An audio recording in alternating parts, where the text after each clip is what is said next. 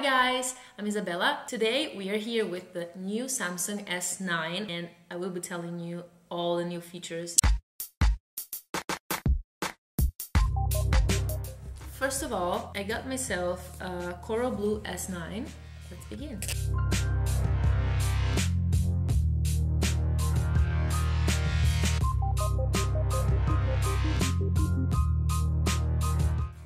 Very nice black box.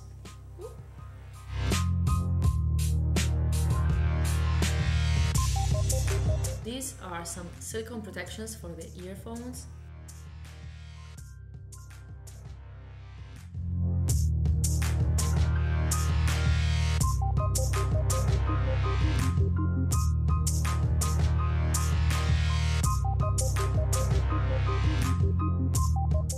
The baby.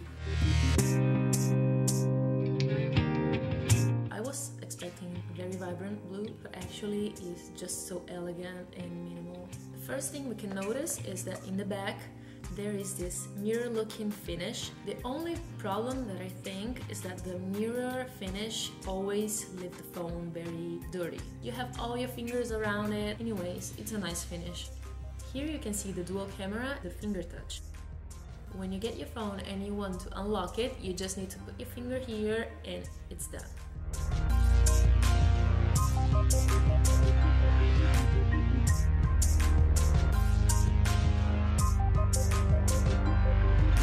Let's go to the tech specs now. Basically, the sound features are a little better. They use Dolby Atmos surround sound, which is a very good technology. The S9 has 4 GB of RAM, while the S9 Plus has 8 GB of RAM. The battery is also improved. The S9 has 300 mAh, while the S9 Plus has 3500 mAh. Both cameras has 12 megapixels and the S9 has a 64 GB of storage, but you can increase the storage adding a micro SD card. We have facial recognition and iris recognition. Besides the fingertip, we have also two other features to recognize that the phone is yours. The most important thing about the S9, the breakthrough, is the camera. Everybody was uh, expecting to see what's new in the camera and there are a lot of features to talk about. Okay, let's turn it on. The S9 camera has a lot of specific modes, so if you want to photograph food, or if you want to photograph a panorama, or a live focus, or emoji, hyperlapse, anything, you just need to change the modes and you have it. In the super slow mode, you have this box in the middle of the camera. If you place the object you want to record in this box, it will do an automatic movement recognition. So if you're worried that you will be able or not to do a very good slow motion, this helps a lot. I love to do this. Selfie mode. Of course, if you smile, it takes a selfie. Anyway, if you're in selfie mode, you have selfie focus, which will unfocus the background and focus on your face. Normal selfie mode, the AR emoji, and the wide selfie, which is good if you want to show around. It's like just don't focus on the face, focus on the content. Yeah.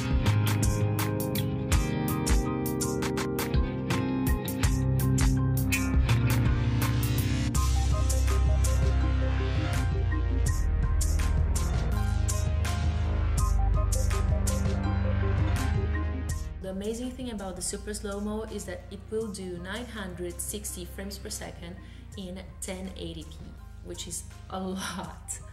Then it will automatically detect the motion and it will do a super slow-mo in only 2 seconds of it. If you're doing a very very quick slow-mo video, it will stretch the video and you will have like 15 seconds.